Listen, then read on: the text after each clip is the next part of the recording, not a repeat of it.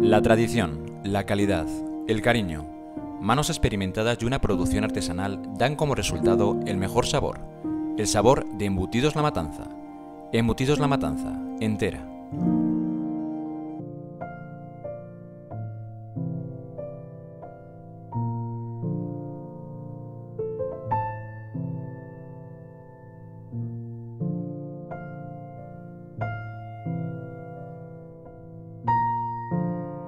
La unión de la tradición y la modernidad en nuestro trabajo tienen como fruto un producto único. Bodegas Castillejo de Robledo. Siguiendo las recomendaciones sanitarias y velando por la seguridad de clientes y trabajadores, Hipermercado Leclerc, sus supermercados en ciudad y su gasolinera, a partir del 24 de marzo y hasta nuevo aviso, cerrarán a las 8 de la tarde. También, pensando en las personas de más riesgo, se dará prioridad de compra a mayores de 65 años de 11 a 12 de la mañana. Gracias por respetar las normas. Entre todos lo conseguiremos. En Esbelte encontrarás los mejores tratamientos faciales, capilares y corporales.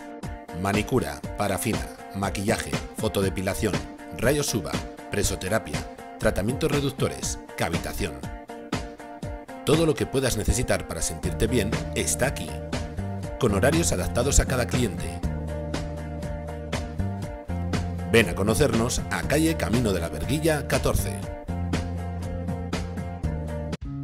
¿Aún no conoces todo lo que Bar El Barrio te puede ofrecer? No pierdas más tiempo y ven a disfrutar de nuestra gran variedad de almuerzos. Desde las 9 de la mañana, nuestra cocina está a tu servicio. Y por la noche te ofrecemos tostas, raciones y bocatas en nuestras cenas ideal para ir con familia y amigos. Bar El Barrio. Ven a la calle Morales Contreras 16 de Soria, en el Calaverón.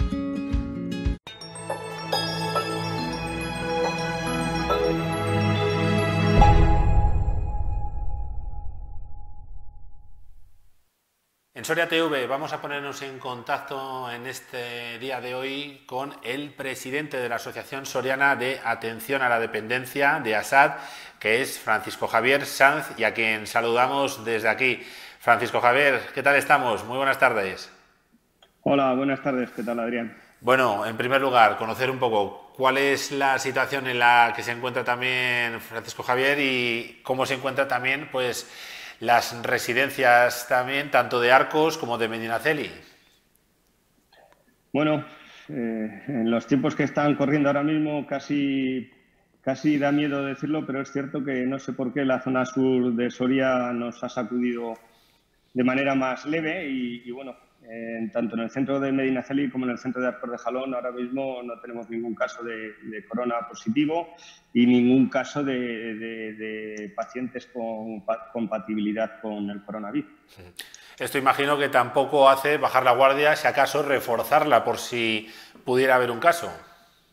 Por supuesto, por supuesto. O sea, no cabe duda de que, bueno, pues eh, eh todos son medidas preventivas que hacemos. Eh, los primeros días íbamos matando moscas a cañonazos, ahora parece que, que nos hemos puesto un poquito más, todos más, tenemos las ideas un poco más claras y qué es lo que realmente debemos hacer, pero, pero bueno, no dejan de ser medidas preventivas. Eso no quiere decir que en cualquier momento nos pueda saltar un caso. Es cierto que ya llevamos bastante tiempo con puertas cerradas, con lo cual el, se supone que llevamos, llevamos unos 20 días o así, eh, sin más el riesgo ahora lo, llevamos nosotros, ¿no? los trabajadores. ¿Cómo se está viviendo la situación en toda la provincia? Bueno, pues como en el resto de España y en el resto del mundo, va por zonas y no cabe duda que hay sitios que están más tranquilos y sitios pues, en los que ha entrado el virus en los centros y, y es un, es un caos. Donde entra, no es que se pueda hacer mejor o peor, es que donde entra somos centros con gente muy mayor, pero no gente mayor. La gente mayor está en su casa. Decir, gente, tenemos gente muy mayor, con muchas pluripatologías, eh, gente muy vulnerable, con lo cual es muy difícil con la realidad física y estructural de nuestros centros el, poder tomar todas las medidas según te las recomiendan y, según te van diciendo que estructures todo por alas. En la provincia de Soria la realidad es que hay centros grandes, pero, pero hay un numeroso, o sea, una cantidad grande de centros que, que, son centros pequeños, medianos y que están llenos y bueno, pues esas posibilidades se limitan. Imagino que, claro, esa forma estructural, como decimos, es complicada y en muchos casos hay que llevarla de otra forma distinta al que se pide, ¿no? Ni más ni menos. O sea, es que hay centros que si, tienes varios positivos es un caos y si solo tienes un positivo eh, a lo mejor tiene que, si eran todas habitaciones compartidas o estaban compartidas está todo el centro lleno, está más complicado de aislar. Eh, eh, luego, al final, estos son centros de mayores, somos centros sociales con personal profesional muy bien preparado para atender a las personas, pero la atención de, sus necesidades de la vida diaria. No somos hospitales, no, no somos UCIs, que en algunos lugares han intentado pretender como que, que, que éramos estábamos preparados para ello. ¿no? Entonces, bueno, pues eh, esas limitaciones con esa carencia de, EPIs y de, y de personal que ya estamos mermados por las bajas, sobre todo preventivas y, bueno, un caos. En cuanto precisamente ese capítulo, el tema de carencias, eh, tanto de EPIs como de personal, ¿cuál es la situación, cuál es la fotografía a día de hoy en Soria? Bueno, pues como en el resto de los sitios, al final eh, sí que es cierto que la Junta de Castilla y León está colaborando con nosotros en la medida de lo posible, que nos van haciendo llegar EPIs, eh, eh, pero claro, con cuentagotas porque, pues porque, porque tampoco tienen y porque nos tienen que repartir entre todos y porque hay centros más necesitados unos que otros por, por el tema puntual en ese momento. Entonces, ¿qué pasa? Que, bueno, para el centro que no tiene positivos, pues eh, bien lo que le llega para estar preparados por si acaso, pero en el centro que tienen positivos, eh, eh, esa preparación que haces para por si acaso se acaba en un momento. No podemos conseguir EPIs porque nos mandan direcciones de empresas donde dicen que ya hay, que nos pongas en contacto, nos pongas en contacto, no tienen. es un, pues eso, no, no, se encuentran, no se encuentran. Entonces, bueno, pues eh, se lleva como se puede, fabricando los caseros, eh, los, propios residentes ayudándonos a fabricar mascarillas, a fabricar eh, batas impermeables con sacos de basura y, bueno, pues cada uno agudizando su ingenio para poder salir, salir lo, lo menos tocado posible. En cuanto precisamente eso, a la fabricación casera, que también, pues bueno, siempre está teniendo, por lo que nos consta en esos grupos de voluntarios, eh, el mayor de los cuidados, sobre todo para el caso que se tenga que donar a centros de mayores. Imagino que también muy importante esa labor voluntaria. Por supuesto, por supuesto. No cabe duda que, sí que es cierto que la gente al estar confinada en casa tiene tiempo y, y nosotros hemos repartido muchísimos, muchísimas sábanas y tenemos mucha gente colaborando en el pueblo, en, en, Medicina, en Medinaceli también, en el convento de, de las Clarisas de clausura, eh, están confeccionando, aquí gente familiares, gente que no tiene nada que ver con el centro, pero que están en casa y nos están confeccionando. Mm, y bueno, todo es bueno en el momento de, que si salta un positivo, pues todo nos va a ir bien, pero no cabe duda que no, no, es, lo, no es lo ideal y con lo que se puede realmente combatir y trabajar con una seguridad. ¿no? Este tema. En cuanto al personal, necesidades de personal que hay en la provincia a día de hoy, porque imagino que, claro, ante el número de bajas que, y el número también de personal aislado que tiene que estar en sus casas, esto también es una merma muy importante y a lo mejor no es suficientemente preparado, no se tiene una bolsa de empleo lo suficientemente grande. Por supuesto, por supuesto. Desde ASAD hace 10 días hemos puesto en marcha una bolsa de, empleo en la cual se ha ido apuntando gente dejando currículos vitae y, una, empresa de trabajo temporal que se ha puesto en contacto con nosotros también para colaborar.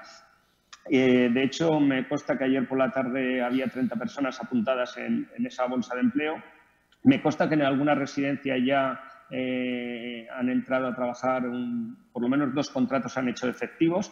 Pero claro, esa bolsa de empleo también hace falta ver luego la disponibilidad que tienen esos trabajadores, ¿no? porque realmente eh, los centros de Soria pues es más fácil que puedan conseguir ayuda de este tipo, pero en el medio rural es más complicado. No sé hasta qué punto en cada caso, hoy me ha llegado esta mañana que en una residencia de cerca de Almazán han hecho efectivo dos contratos, pero no sé hasta qué punto en el medio rural esto nos puede venir bien o no, pero bueno, todo suma, se hace con buena intención y se puede venir eh, bien para algún centro, pues ahí estamos. Lo que hemos hecho desde ASAD ha sido, en la asociación pertenecemos las empresas que pertenecemos, pero hace 15 días realizamos un grupo de WhatsApp para todas las residencias que han querido participar de la provincia y en las que estamos prácticamente todas.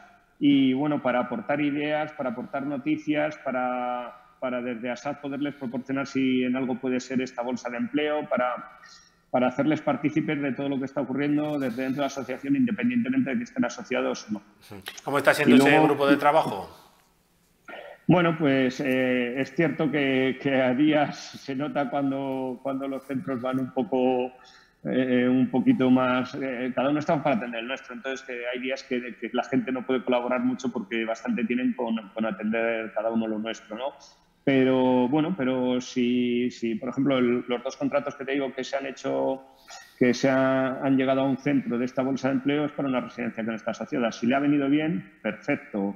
Y bueno, pues lo que es eh, a la hora de transmitir a la Junta de Castilla y León, que, bueno, se va poniendo en contacto a través de mi persona, la delegada, pues eh, periódicamente y le vamos transmitiendo, pues una cosa, porque una cosa son las órdenes que dictan y, y lo que ellos quieren hacer y otra cosa es cuando llega a nosotros la realidad de lo que llega, ¿no? Entonces, bueno, pues lo que hacemos es que periódicamente es lo, ella se va interesando, nosotros lo vamos transmitiendo y si esto puede ayudarnos a alguno o mejorar en algún centro alguna deficiencia puntual o de manera urgente en ese momento, pues bien, eh, está claro que, que toda la ayuda que tenemos no está siendo suficiente porque los centros que tienen positivos es un caos y luego, bueno, pues nosotros a partir de ahí, claro, todo esto de la bolsa de empleo y el que hayan quitado, hayan derogado de momentáneamente la norma del personal cualificado para que podamos coger gente que nos ayude, lo que decimos es que, que necesitamos test para esas personas. ¿Cómo metemos gente de la calle sin hacerle un test?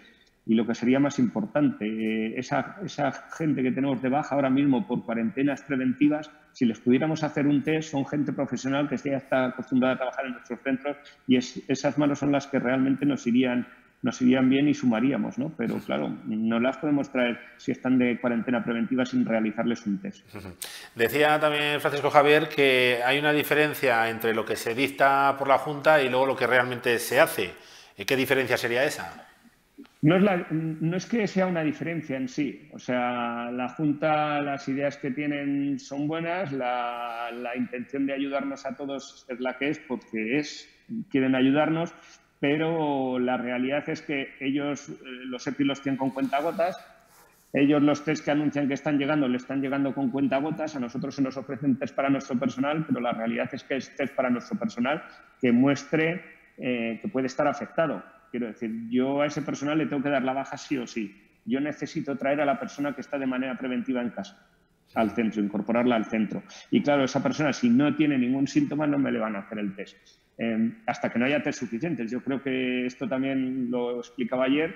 Eh, poquito a poco iremos recibiendo más test, se irán repartiendo más test a todas las comunidades autónomas, con lo cual nos irán llegando más test y, y podremos, pues, poco a poco ir haciéndoles test a todo el mundo, ¿no? Pero ahora mismo la ayuda es buena, la estamos tremendamente agradecidos, pero en los centros donde hay positivos o posibles o compatibles con posibles positivos mm, son un caos, un caos.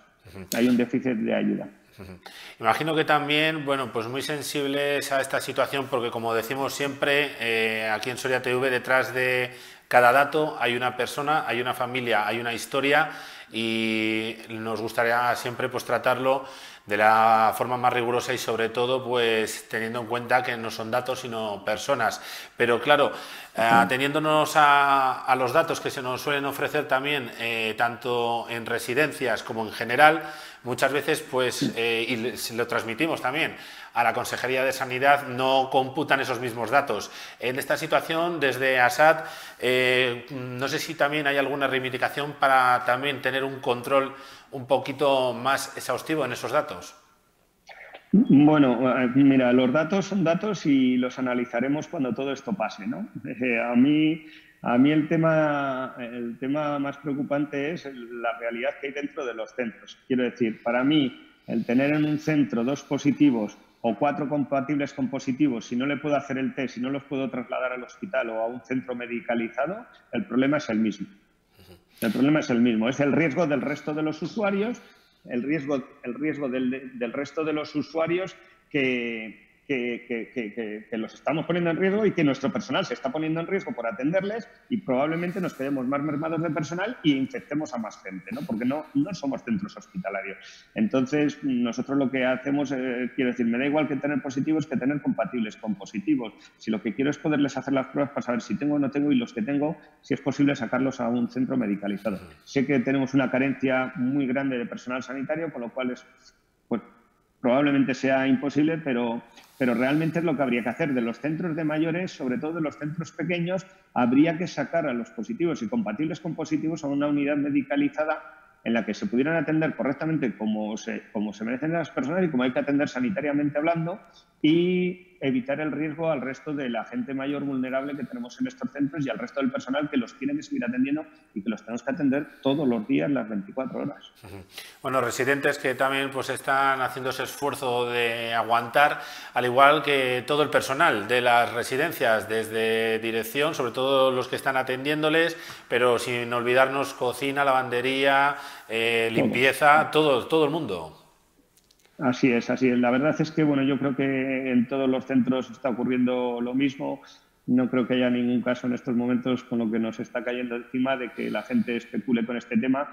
Eh, yo, por mi parte, la experiencia que tengo en los dos centros en los que estamos es que la implicación del personal es, es eh, no puede ser mayor, no puede ser mayor. Los equipos están funcionando mejor que nunca. Es lamentable que nos tengan que llegar circunstancias de este tipo para ver lo que somos capaces de hacer y cómo somos capaces de hacerlo, pero eh, hay que agradecer a todo el personal que está trabajando ahora mismo en los centros de mayores el esfuerzo tan grande que está haciendo, los riesgos que está corriendo, se los está llevando a su casa, tiene sus familias y tienen que retornar, pues, pues igual que los sanitarios. Yo no me voy a poner al mismo nivel, pero, pero estamos por detrás de ellos, pero la implicación total y el esfuerzo hay que agradecerlo. Javier, luego también, claro, hay otro lado, el lado en el que fuera eh, llega de repente más de un día y sobre todo hace poquito, el pasado miércoles, pues por ejemplo Arcos de Jalón, Guardia Civil, los voluntarios de las ambulancias, eh, todo ese personal al exterior de la residencia y la verdad que ese aplauso y ese momento con el himno también de España, imagino que un momento para recordar, ¿no? Bueno, eso es inolvidable, ¿no? Y el agradecimiento a todos ellos, a todo el personal del área de salud de nuestra zona, a los técnicos del transporte sanitario, a la Guardia Civil, a todos. Y en, en sí, luego al resto de la población, porque todo el mundo por Facebook, por, por las distintas redes sociales, pues apoyando ese aplauso y, y, dándonos ánimo, ¿no? Pues se te ponen los pelos de punta, te puedes imaginar. O sea, es algo que, que realmente ahí es cuando ves que, que la labor que se está haciendo es la mejor posible, lo mejor que está en nuestras manos por parte de todo el equipo y que, y que la gente también se da cuenta de ello. ¿Qué mensaje mandaría también el presidente de Assad a todos los que nos están viendo? Y si nos queda también, pues eso, ya ese punto de, de esperanza para poder continuar y para poderle ganar esta batalla al coronavirus. Bueno, pues el mensaje yo lo tengo muy claro. O sea, esto está claro que lo tenemos que vencer y lo vamos a vencer, con lo cual todo saldrá bien, que dice el eslogan, pero a partir de ahí tendremos que montar un periodo de reflexión, creo que a nivel nacional, a nivel mundial, en, todos los términos, porque son cosas que cada vez nos pueden ocurrir más a menudo y que tendremos que estar preparados para ello. Y, nada, que, bueno, pues eh, estamos pasando una etapa mala, pero la vamos a vencer y a partir de ahí, pues pues intentaremos que prepararnos lo mejor posible para que no vuelva, no vuelva. Ánimo, ánimo para todos. Pues Francisco Javier Sanz, muchas gracias también por atendernos, por dejarnos un poquito de también ese tiempo tan preciado estos días para poder coordinar tanto las dos residencias que tiene como también pues a todos los asociados y no asociados en este momento y bueno, desearos sobre todo mucho ánimo y que bueno, pues lo podéis pasar esta situación de la mejor forma posible. Muy bien, muchas gracias a vosotros y muchas gracias por, por ponernos ahí en el punto de vista de la gente y que se nos vea y el transmitir un poquito nuestras necesidades. Muchísimas gracias.